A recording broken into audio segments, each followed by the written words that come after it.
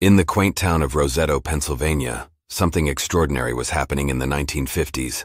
This small Italian-American community was experiencing remarkably low rates of heart disease compared to neighboring towns. This phenomenon, later dubbed the Roseto effect, sparked the interest of researchers and became a captivating study in the influence of social connections on health.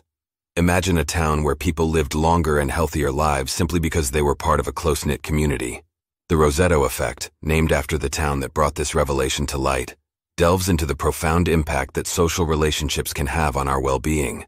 To understand the Roseto effect, we must first journey back to the 1950s. Roseto was a tight-knit community of Italian immigrants who had created a unique and cohesive society. The families in Roseto shared a common cultural background, spoke the same language, and lived in close proximity to one another.